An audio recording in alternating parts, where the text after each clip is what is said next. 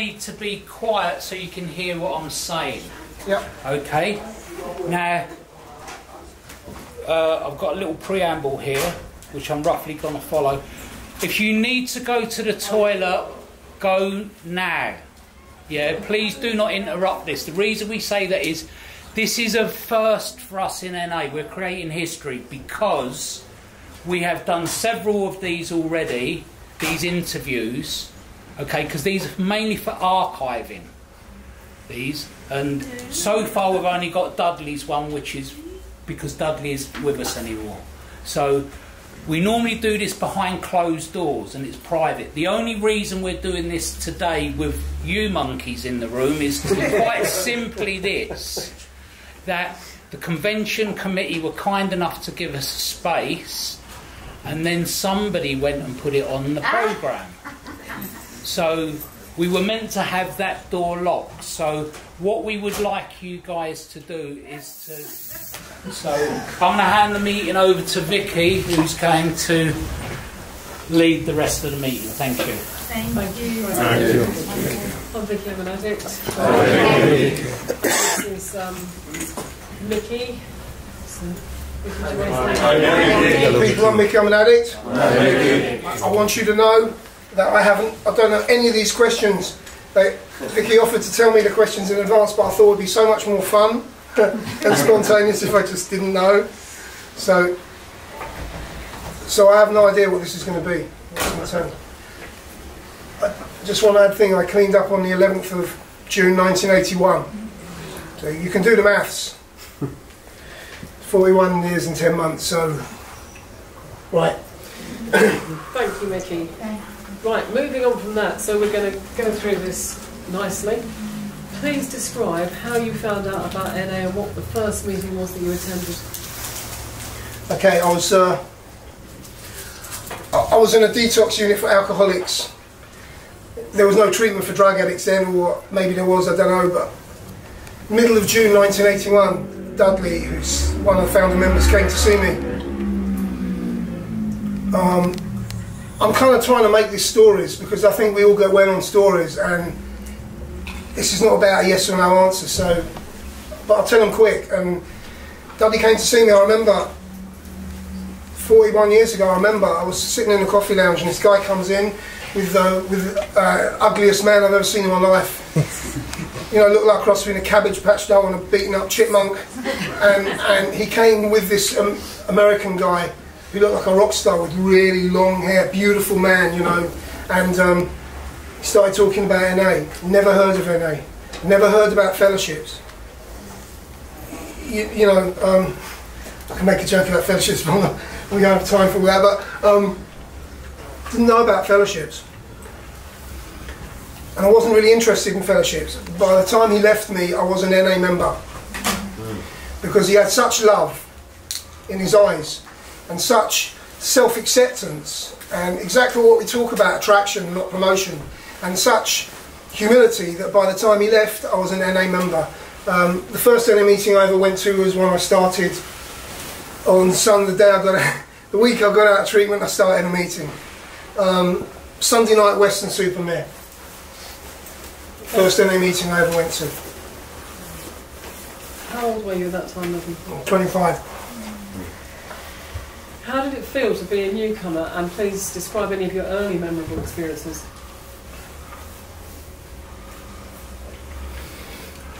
Look, uh, the, the thing is, I when I got into the fellowship, I'd already accepted it was done.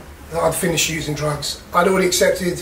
I'd already reached my bottom. I didn't have any more using to do. So for me, there was no struggle in being a newcomer. The struggle was living without drugs, with all the feelings and experiences and confusion that was going on, and the fact that when you're new and you're like a lightly boiled egg, just held together by the skin all running inside, you know, a- anything could, could can throw you can throw me off target. So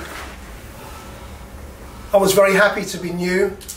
I recognised that I was at the beginning of a very exciting thing because the fellowship was tiny. There was three people in front of me, right, and, and one of those was a nutter. Um, he turned out to be great. But, and, and so, and so, yeah, yeah. And so, uh, I was excited. I was excited, and I was excited to go to NA because I hated AA. it's the truth. My sponsor, I was given a sponsor. He phoned me up after my first meeting. He said to me, "Did you go to the meeting?" I said, "Yeah." He said, "Did you enjoy it?" I said, "No." He said, "Why were you there?" That was, anyway, that's that. Yeah. Thank you.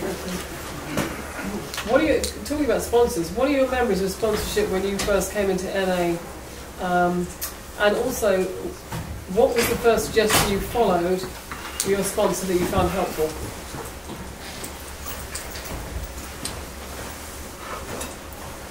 I, I was, I had an, I had a sponsor that was two years in AA. Um, NA in London, I, I was living in Weston, and there was one meeting in London. And although everyone used to come up for the Sunday night meeting, drive all the way up to Weston. And when I went back to London, I also drove all the way up to Weston, six-hour round trip just to go to a meeting.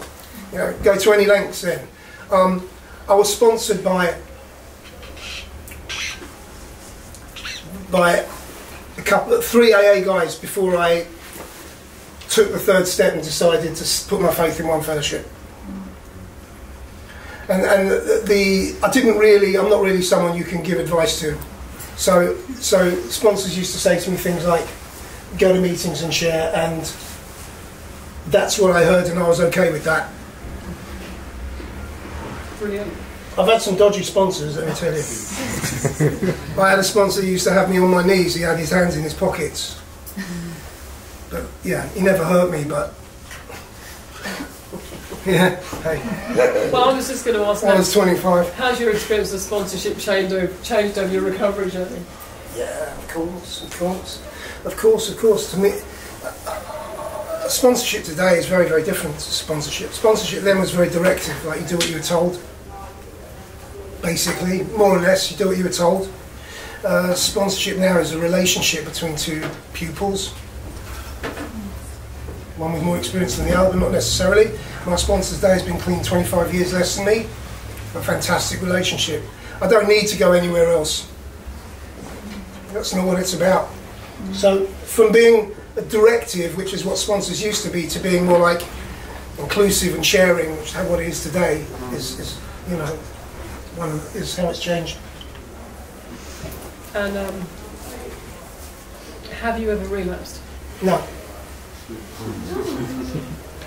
When you came into NA initially, not yet.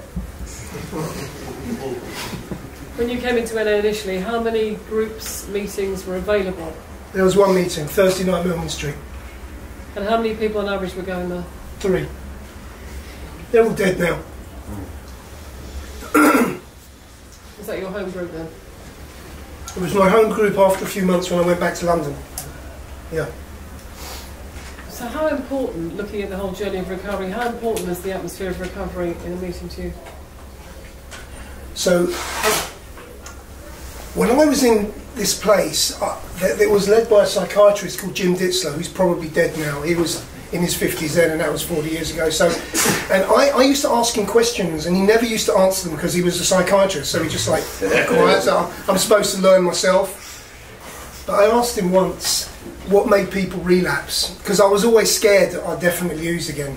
Always, always. I was absolutely sure I was going to use again. The fact that I didn't is like, you know. And I, used, and I once asked him what made people use again. And he's thought about it and he said to me, negative thinking. So does that answer the question? That answers the question, Yeah. absolutely. What's your experience of service in the fellowship been like over the years? It's what makes me belong.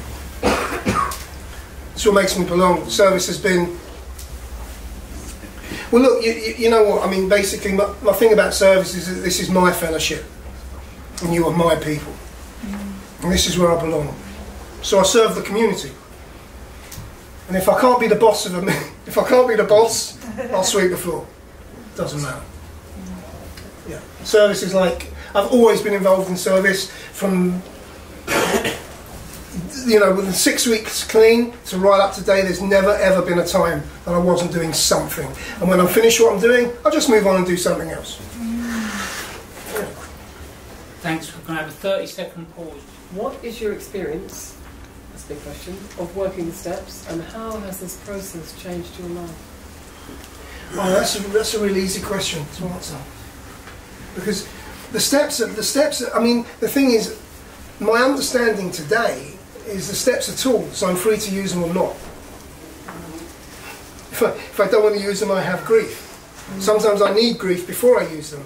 But the steps are tools, and they're tools to use in order to help me function out there or deal with whatever problems are making me suicidal or depressed or whatever. And what was the question? What's my understanding? The question is, what's your experience of working the steps, and how has this process changed? So you know what? I'll, I'll give you a great example. I'll give you a great example. That when I joined, uh, when I joined the program, it was the steps were explained to me, and I didn't understand because because the steps are not an academic exercise; they're experience. Everything's experiential. Nothing's academic. So, although people said to me, step three means let go, um, hand you know.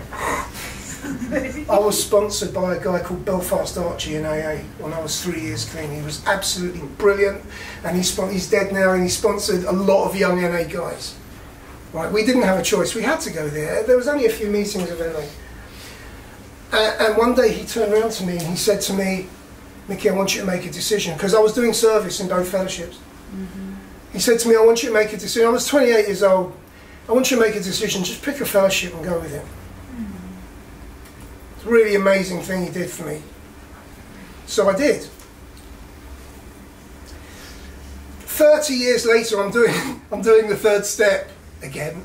And I do the third step and I leave it and I'm walking along and I suddenly realise the first time I took the third step was when I made the decision to choose one program and one fellowship. I'm not saying above another, that's my path, that's the one I chose. Right? So, if you said to me now, what does the third step mean to you? You know, a few years ago I might have said let go or hand over. Now I say it means take the risk. So, every step uh, has different meanings and, and over the years changes in my understanding of them and what I need to do. I'll tell you what I do, what I work the most these days, amazing, is six and seven. Amazing. So this time round has been the hardest for me of working the steps because I'm doing them again now. I'm on step nine, I'm doing again now, and, and I've got and I've got an, an awful lot from them. I've learned new tools. Every time I go around them, I get new tools. And now I realise if I if I got shit going on, generally, if I work step six and I work step seven, that gets rid of the shit. Eventually, hmm. my ability to understand and deal with what's going on. The thing is, I mean, you know, life on life's terms. Is life's not easy for all of us all the time. You know, it's quite difficult some of the time. Yeah. So, it's a general answer, I think. Yeah. Yeah. Can you describe? Hello, man. Can you describe your experience of working with traditions? How has your application of these influenced your life both in and out of the fellowship?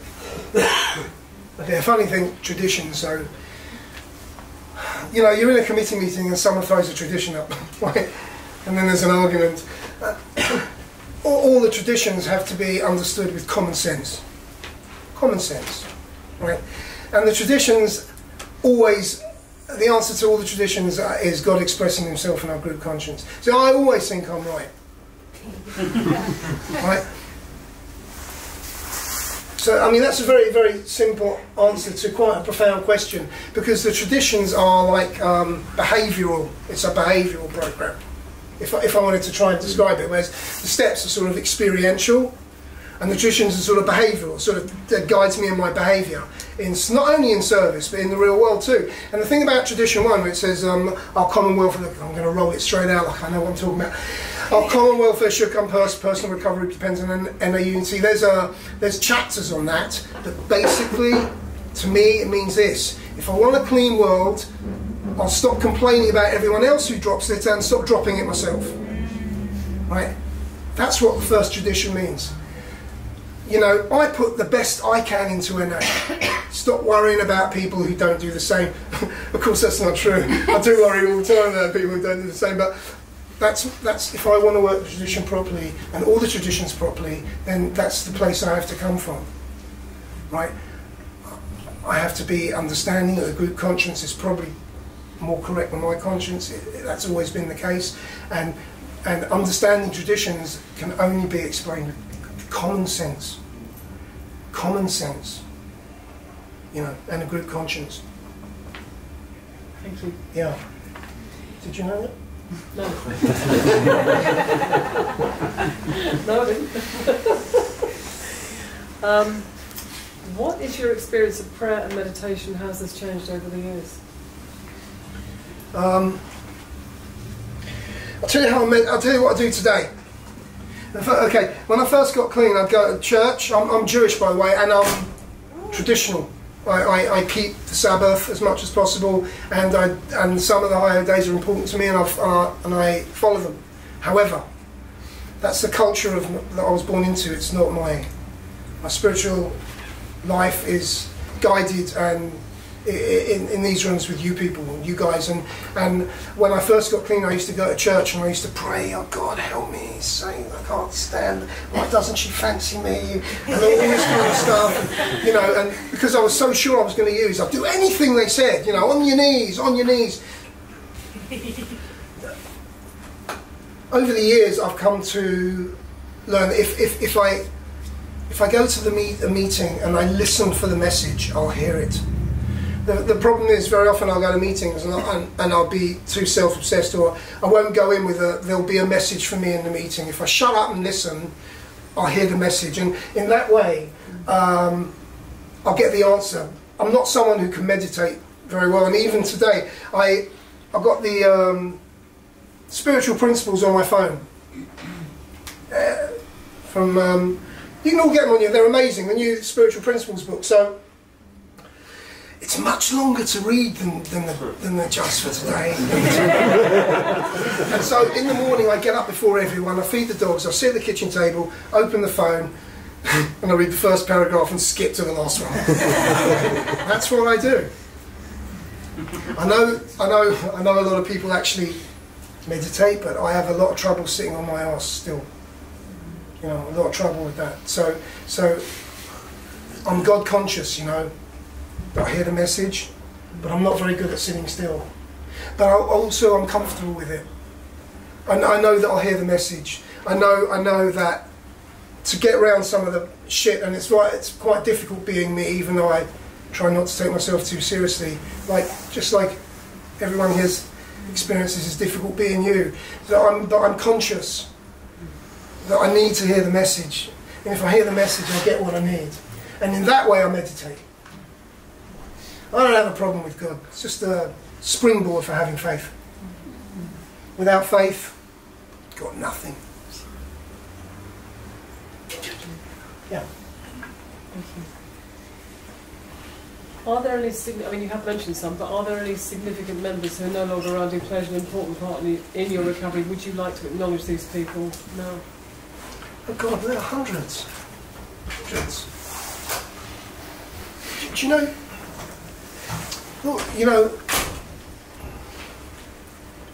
I'll get on with I'll get on with almost everyone, apart from the H and I people. yeah, apart from the H and I people, uh, i have got I need to do some work on that. Um, I get on with most people, and I like most people.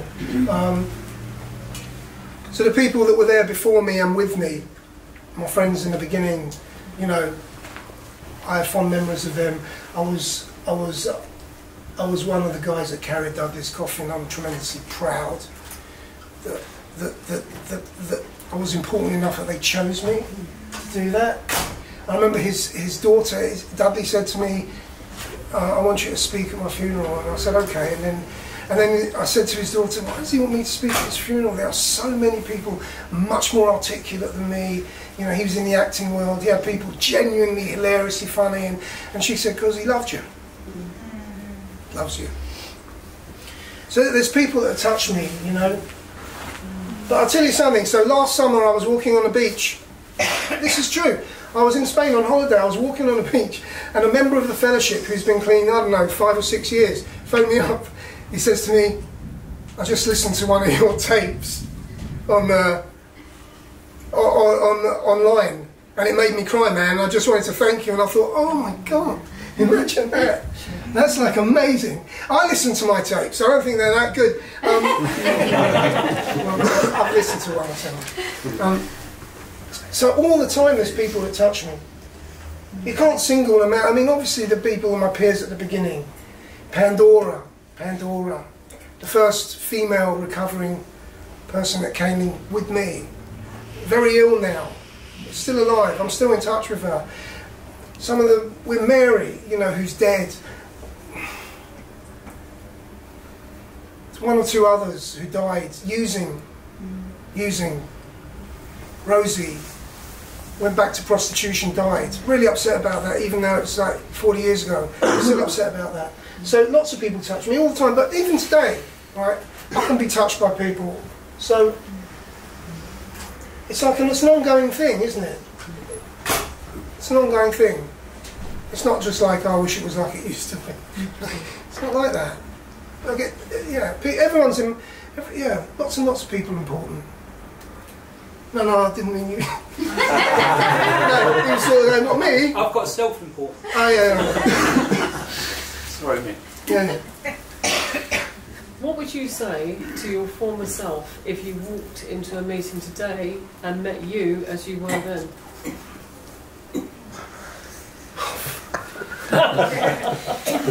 I mean, I guess everyone answers that as keep coming back. That's what they answer. It's an NA thing. It's a fellowship thing. No, I'd, I'd say you're, on a good path, mate. You know, just enjoy the journey.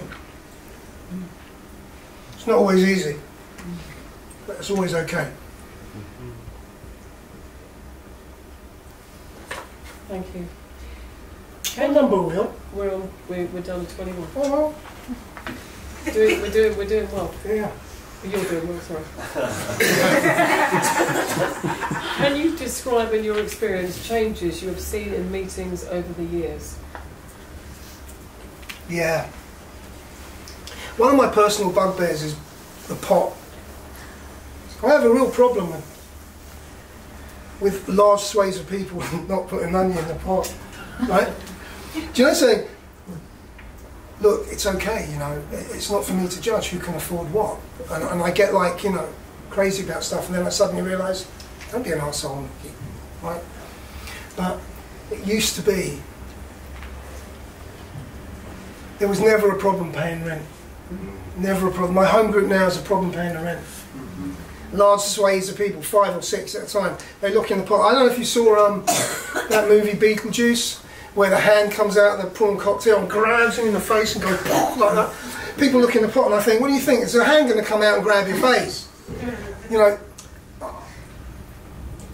NA's changed in a way that when there's a service position, mm. it's very hard sometimes to fill it. It ah. seems to me that I'm sure people are committed. I'm sure they are. I'm sure I just misunderstand it and times have changed. But in the early days, you couldn't get service commitment unless you were friendly with everyone. Because everyone would go for it. Everyone. Everyone. And there was just like 20 or 30 or 40 or 50 of us or 60 of us. Now there's thousands, there's hundreds and hundreds and hundreds of us. If you have a service commitment, like, doesn't get filled. So um, if I try and take a view of not being judgmental, it's like, I guess the fellowship's big now. And there's always someone that will cover it. And it's easier now to. I, th- I think that there was just a feeling then like we were part of something. Part of something really special. And I don't know if that's true now. But the thing is, people are still getting better, so I must be wrong. But I'll tell you what I do find that I went down to Preston. I go down to Preston quite a lot. The office is there, but also there's people I love down there. And when you go there, it's like the fellowship was when it started here. All service commitments get filled, and everyone puts what they can afford in the pot. So it's a different kind of mindset, you know. But I know that sounds quite critical, doesn't it? Um, yeah, I mean the fact is, this is still my my place where I belong. I mean, the fellowship's changed for, for in, in good ways as well. I mean, we, we have we have we have we have uh, the structure now to serve the whole fellowship. Um, we have uh, an office and we have committee meetings, and everyone does really good work to grow the fellowship. And in fact, one of the things is when when uh, I became chair of UKSO, um, and it would have been eight years ago, eight years ago, um, we, we, we discovered, the committee discovered that actually we needed a bigger office to serve a massively growing, expanding fellowship. And uh, in that service commitment, you kind of learn about what the fellowship does in the country rather than sitting in meetings. And, and the fellowship's growing and growing and growing and growing, even though there's a lot of stuff online now because of the pandemic, you know, it's still growing and growing and growing and growing. And, and so, and so uh, that's a sign that it's still, despite my finding fault with certain things, it's still, you know, I don't really know what I'm talking about because it's still growing and growing and growing and growing. So, so, so there's lots of, you know, ways the fellowship slightly different, but there's lots of ways the fellowship slightly sort of more able to carry the message and support newcomer and stuff like that. Yeah. Thank you. Um, right, how do you see the future direction of the Fellowship of NA, and what are your hopes and wishes for its development? Uh, do you know something? When I was when I was a director, I wanted to do a Brexit. I'm sorry to tell you. The others the others said, "That fuck off! Don't be ridiculous! Right, we're part of a wider community." I go, "All right." It was just an idea, but uh, I see the fellowship. Uh, so you know what we um. This is quite a story that that um, when we were talking about moving the office, uh, so because because I have service experience, I, I can talk about this. I, so when we were talking about moving the office, we went down to AA in Yorkshire to talk to them about how they did it, because they used to be in Earl's Court. When I cleaned up, I lived opposite their office in Earl's Court, and uh, they moved to Yorkshire, and they got this great building with a stainless steel lift, right, and um, and um, a load of us went down there uh, from UKSO, five or six or seven of us, and, and we, we went down there to, to to find out what happened when they moved, what happened with the fellowship, and the head honcho of um, of AA, whose name I've forgotten, he, he took us to one side. He sat us in the boardroom. and He said, "You should be doing this now." You should be moving now. You should be getting a bigger office to serve a bigger fellowship. It's exactly what happened to us. It's not 100% true because they print their own literature and we don't, but uh, and they invest in property and we don't. but um, they're a little bit bigger organisation. But but what was the question? How do you see the direction of the Right. So we, we have the infrastructure now for the fellowship to grow and grow and grow and grow, and us supporting that fellowship with, with literature, which is basically the function of the office to provide literature uh, uh, uh, to meetings and areas, so that they can, you know, get more meetings and you know carry the message. You, you know, the things. So I, I see things carrying on. I mean, the things that my, my point of reference for the first meeting, when I walked into my first meeting, is, is, is the fellowship has just got bigger and bigger and bigger and bigger. And there's plenty of people 30 years clean I've never met before. So I'm used to sort of like, like I know everyone, but I don't. There's plenty of people with decades doing great service in NA, never even met them before. So NA is just growing and growing and growing. So I, I think that that will carry on. Having been involved in the office, I see that there's evidence for that. What I hope would happen is the same. The thing about the thing about the fellowship is we're all here in different places in our lives, different problems. Some of us are really upset, depressed. Some of us are really happy, ecstatic. We're all different clean times, and we're all different, and yet we're all here together. And that's the same as every meeting. So why would it not grow the same? Why would that not continue? So that's what I see, and that's what I would hope. Because in the end, it's down to the individual getting clean as to whether the fellowship grows or not. If people aren't getting clean, fellowship's not going to grow. I can't see it be any other way. Yeah. I don't want to do a Brexit anymore. it's just an idea. Do you have a message for newcomers? Good health is contagious. Bad health, much more contagious. you know what? Um, I got clean on the backs of my friends. I got clean on friendships. Okay, that's the absolute truth. I didn't get clean on my understanding or desire to work the program. That came in time. I got clean on the backs of friendships, and in that, I was working a very good program. It's really important to have faith. It's really important to have faith, and it's really important to look around and see other people doing it. You know, yeah. Get a sponsor who doesn't put his hands in his pockets when, he's talking to you.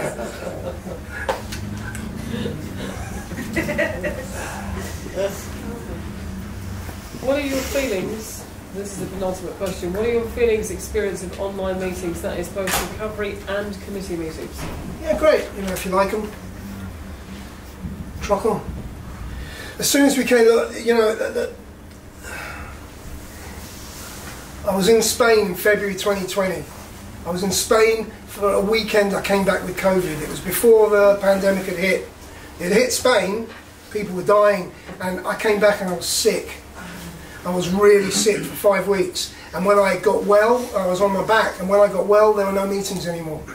And this was like, not only did I learn a lot from it, which is another story, it shocked me to my core. I didn't have NA anymore. And I didn't, I, I never ever got, I know lots of people got, got online really quick, a lot of people got clean online, really love online meetings. Never happened for me. I found one meeting I went to once a week that survived for me. The rest, I always found them quite difficult. Didn't have the same energy and the same feeling as a live meeting, the same exposure. I don't know. I don't know. I'll tell you a funny story. Oh my God. I was at NA Region before the pandemic. Lisa knows. and there was this guy that was running online meetings, right? And he wanted a space in, in the UK region for his online meetings, and he didn't get it because his online meetings were made up of people all over the world. So they didn't have an area. So it was really difficult. This is in the beginning. It might be uh, they're making space now, right? It's all changed now. But and I said to him, I thought, and I said across the table in front of everyone in the room, I said, I thought if he thought that was going to take off, he had mental illness. That's what I said to him across the room. In front of 30 people in a committee meeting, and then I and then I suddenly felt bad about it, and I, I bought him some flowers in the afternoon. And me and him are good. Me and him are good mates now. And we did, in fact, we did chair together at the last convention. In fact, we did something. We did something in, in Swansea three weeks ago or four weeks ago together. And a talk, an H and I talk. Um, so, so obviously you all know now that because of the, the online meetings really took off and our H and I, UK H and I committee meetings, which I had just stood down as chair of, um, are online. But so I accept it. But I actually, the truth is, for me personally, I wouldn't go to an online meeting unless I didn't, unless I had to. There's you know live meetings have opened up again, but I think of course they so now they're part of our fellowship, right? So that's great. But me personally, I don't, I don't need to go, so I won't. I'll stay in London. I mean, stay in, yeah. I live here, so there's lots and lots and lots and lots of meetings. Is there anything else you'd like to add? Finally. Oh, I think I've said so much. I think, I think I'd like to say that being clean a long time brings its own problems. And really, what I want to do, so I had some issues around, because I did a history of NHA at the last convention, and then I did one in Weston convention, and then and then I did one another one, and then last night I did one at uh, Speaker Jam, and, and now I'm doing this, and I'm doing one in Hull, and I, I was saying to my sponsor, you know what, I sound like a circuit speaker. I don't want to be a circuit speaker that I'm asked to speak about, so I like, like I have more information, like I'm supposed to know anything. I actually don't know anything. And that's how I want to be. Hmm. I just want to be an NA member. And I appreciate that when I cleaned up, people who had two years clean were like, no, never, impossible, two years clean.